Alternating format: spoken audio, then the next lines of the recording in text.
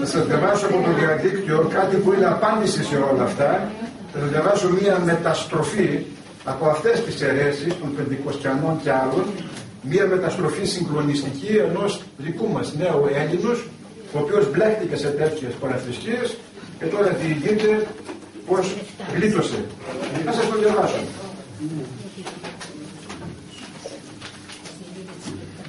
Από την Εκκλησία την Ελεύθερη της Πεντηκοστής η μεταστροφή μου στην Ορθοδοξία. Ο Μάριος είναι αυτός. Τώρα, όχι, το Σεπτέμβριο του 99. Είναι ο Τερτιλιανός πατεγράφει μέσα στο αντιαιρετικό εγκόλπιο. Πολύ καλός. Τώρα αυτός. Ναι, ναι, γράφει Μάριος. Λοιπόν, η μέρα χαράς. Το όνομά μου επιτέλους γράφτηκε στο βιβλίο των ουρανών. Δόξα, αλληλούια. Τώρα πια είναι παιδί του Θεού, έκανα το θέλημά του. Βαπτίστηκα ξανά το όνομα του Πατρός και του Ιού και του Αγίου Πνεύματος. Συνειδητά και με απόλυτη επίγνωση. Με απόλυτη όμως επίγνωση. Αναρωτιέμαι, τι γνώριζε για την Ορθοδοξία, τι γνωρίζουν τα παιδιά που παρασύρονται και πηγαίνουν σε αυτές τις αιρέσεις, τίποτα. Και αυτό είναι η ευθύνη όλων μας πολύ μεγάλη και πιο πολύ της Εκκλησίας και μόνο των κληρικών. Που θα έπρεπε αυτές τις συνάξεις να είναι σε κάθε ενορία. Πώς πήρε με τέτοια απόφαση ζωής, όχι, όχι, δεν είναι ώρα για αρνητικές σκέψεις κτλ. Μας διηγείται λοιπόν στη συνέχεια και λέει αγαπητοί αδελφοί την εκκλησία της Πεντηκοστής την λάτρεψα εκεί που ήταν. Έδωσα όλη μου την ψυχή την υπηρέτησα. Ήμουν πεπισμένος ότι η εκκλησία μου βαδίζει στα χνάρια του Χριστού.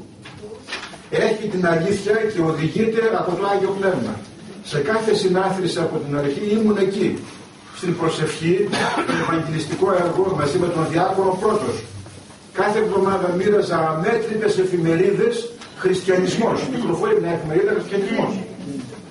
Σε ανυποψία στου πολίτες με σκοπό πάντα να μοιραστώ και με άλλους την αλήθεια Χριστός. Ή μάλλον καλύτερα να προσιλητήσω στη σέχτα μου νέα μέλη. Πήγαινα σε γυροκομεία να δω αρρώστου, έπαιρνα μαζί μου και εφημερίδες, αγόραζα κούτε με καινή διαθήκη.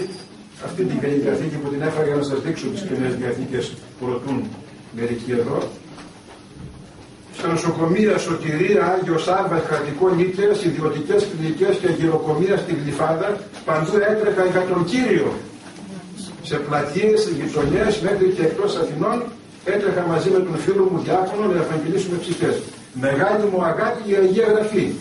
Έσπεσα στο σημείο να μελετώ τέσσερι ώρες την ημέρα για να έρθω πιο κοντά στον κύριο. Ποιος όμως μπορεί να ερμηνεύσει τις ιερές γραφές, οι Προτεστάντες ερμηνεύουν μόνοι τους. Δεν θέλουν τους Αγίους Πατέρες, που πάνε και τώρα οι δικοί μας να τους βγάλουν. Οι απορίες που είχα στην κυριολεξία είχαν στοιχειώσει την ψυχή μου.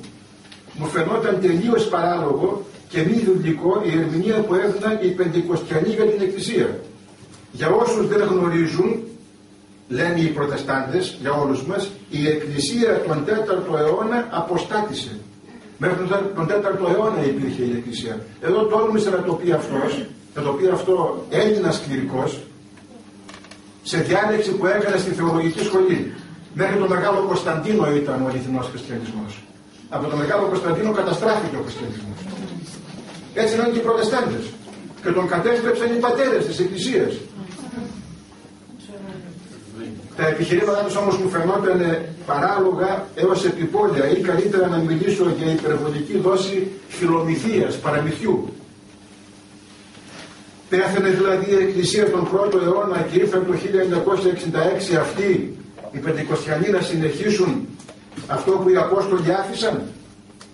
Εκτός ότι κάτι τέτοιο αποτελεί μέγιστη βλασφημία είναι και τελείως αφελές. Όχι μόνο να ισχυριστώ αλλά ακόμη και να δεχτώ ένα τέτοιο επιχείρημα. Άλλωστε, αν ζήσει ποτέ κανείς μέσα στη σέκτα των Πεντηκοστιανών, θα παρατηρήσει ότι βρίσκεται ένας άσχετος ανάμεσα σε άσχετους. Ο πιο σχετικός από όλους, μα φυσικά ο γνωστός πατρολόγος, υπήρχε ένας εκεί που έκανε τον πατρολόγο, δίθεν πατρολόγος, που μας άνοιξε τα μάτια με τις εφευρέσεις ανακαλύψεις του πάνω στα πατερικά κείμενα.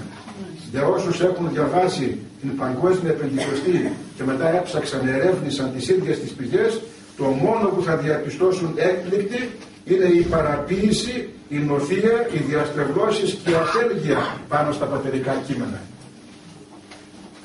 Και μετά διηγείται και ένα περιστατικό προφητείας ότι και ο ίδιος έγινε προφήτης από τον σατανά.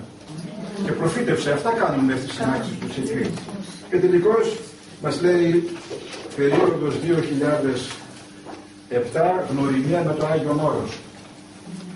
Τα χρόνια περνούσαν μέσα στην εκκλησία της Πεντηκοστής και ο ενθουσιασμός όλων είχε περάσει. Ο μαρασμός των πιστών ήταν διάχυτος και διακρινόταν να υπάρχει παντού σε κάθε παράδειγμα της έκτας η απογοήτευση. Η δικαιολογία όμως πάντα απλοϊκή. Ο Κύριος δοκιμάζει την εκκλησία του. Έλεγα. Ξαφνικά έβλεπες όλο και περισσότεροι πεντηκοστιανοί να μελετούν πατέρες θέλει να τους διώξει ο Ιγνάτιος. Ψάχνουν να βρουν οι άνθρωποι τους πατέρες και δεν τους διώχνουν. Να τους χρησιμοποιούν επιλεκτικά στα κηρύγματά τους. Το θεώρησα ανήθικο οι πιστοί να παρατηρούν από τη σοφία του πειμένα πάνω στην ερμηνεία των γραφών και από πίσω να κρύβεται ένας χρυσόστομος. Αυτό δηλαδή που τους έκανε ερμηνεία, τους διάβαζε χρυσόστομος. Πραγματικά ιδιασμένος και απογοητευμένος φεύγω κρυφά για το Άγιο Όρος για να βρω επιτέλους μια λύση. Άλλωστε μελετούσα τα Ιερά Κείμενα των Πατέρων περίπου από το 2002. Αισθανόμουν ότι το πλήρωμα του χρόνου είχε φτάσει για μένα. Η Ορθοδοξία με προσήλθε όλο ένα και περισσότερο, χωρίς όμως να μπορώ να πείσω τον εαυτό μου σε κάποια δογματικά θέματα, όπως της Θεοτόκου ή της ομιλίας σε ξένες γλώσσες. Η γνωριμία μου με το όρος ήταν καταλητική.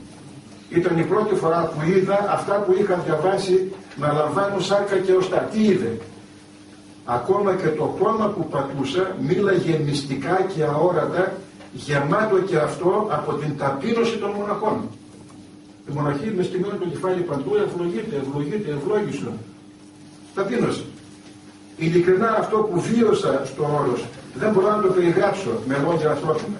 Βρισκόμουν σε ένα δόγμα που πάντα διαφήμιζε τη σχέση του με τον Θεό και όμως εδώ η διαφήμιση γινόταν μέσα στην Ιερά Σιωπή.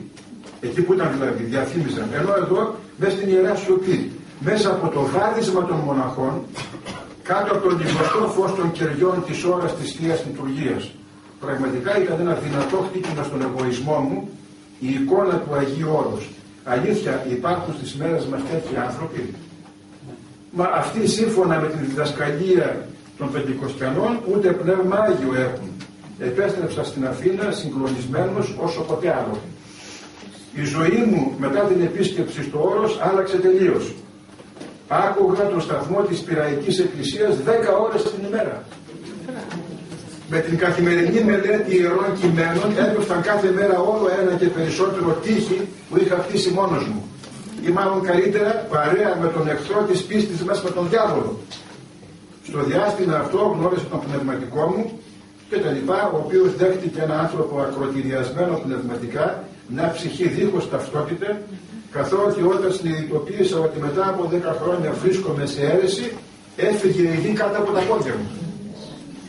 Δύσκολες ημέρες που δύσκολα μπορούν να περιγραφούν καθώς τον εσωτερικό αγώνα και την πάλη ενός ανθρώπου το γνωρίζει μόνο ο ίδιος και ο Θεός. Η σύζυγός μου.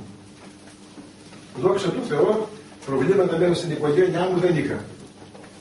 Το καλό στην όλη υπόθεση είναι ότι με τη γυναίκα μου είχαμε κοινή πνευματική πορεία. Τα βιβλία που διάβαζα και οι μελέτες που έκανα παρακίνησαν τη γυναίκα μου σε δικές της προσωπικές έρευνες. Έτσι αθόρυβα και οι δύο μαζί μελετούσαμε και ψάχναμε τη διέξοδο μέσα από την δαιμονική αίρεση. Δεν την πίεσα ποτέ και σεβάστηκα τον προσωπικό της αγώνα, άλλωστε ήμουν περίεργος να δω πού στο τέλος θα καταλήξει. Το ευχάριστο για μένα ήρθε μετά από περίπου 7 μήνες όταν αποφάσισε η ίδια μόνη να ενταχθεί στην Ορθόδοξη Εκκλησία. Έτσι απλά, αθόρυβα, μυστικά, χωρίς την πανοκρουσία και διαφημίσεις. Επίλογος. Η αυτοαποκαλούμενη ελευθέρα Αποστολική Εκκλησία της Πεντηκοστής, σαν αυτή που προβάλλει αυτή η διαφυσκιακή, είναι μια επικίνδυνη δαιμονική σέκτα. Ο προτεσταντισμός δαιμονικός. Και εμείς είμαστε στο Παγκόσμιο Συμβούλιο Εκκλησιών. Προτεστάντη, επανελθόν λέει είναι δαιμονικές έκτε όλα αυτά. Και εμείς Παγκόσμιο Συμβούλιο Εκκλησιών, όλα αδελφές εκκλησίες, εκκλησίες, εκκλησίες. Ε, τα έχουμε χάσει. Να ευχόμαστε να ελευθερωθούν οι συνανθρωποί μας μέσα από τα όρατα δεσμά του εχθρού. Και δεν ξεχνούμε ότι αυτά που λέει εδώ, αυτή η κυρία εκεί η εδεσιμότατη, τα έδισαν και δικοί μας ιεράρχες, νομίζω στην Καμπέρα, όπου υπάρχουν βίντεο, βιντεοσκοπίες όπου παρουσιάζουν και οι δικοί μας να μετέχουν σε πορείες, σε χορούς, κοιλιάς, χορεύουν, τύμπανα κτλ. Με τους προτεστάντες μαζί, στο Παγκόσμιο Συμβούλιο Εκκλησιών στην Καμπέρα. Να ευχόμαστε να ελευθερωθούν οι συνάνθρωποι μας μέσα από, την αόρατη, από τα όρατα δεσμά του εχθρού. Ο αγώνας μου κράτησε δυόμιση χρόνια και ήταν πολύ δύσκολο, το ομολογώ. Στην μεταστροφή μου αυτοί έπαιξαν μεγάλο ρόλο οι πατέρες της Εκκλησίας, άκουσα το Άγιε Δημητριάδος. Πρέπει να ντρεπόμαστε. Το Άγιο Όρος, η Πυραϊκή Εκκλησία και ο Πνευματικός μου. Ευχαριστώ τον Θεό για όλα.